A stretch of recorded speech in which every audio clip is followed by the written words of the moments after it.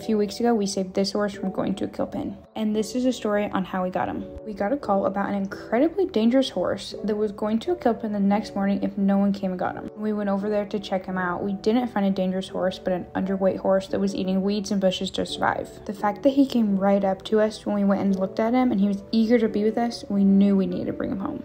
During his quarantine, he became more lively and trusting each and every day. We call him Black Beauty since that's the name on the halter that we were given. The vet came out and did workup, and when we got the all clear from them, we were so excited to turn him out and really start working with him.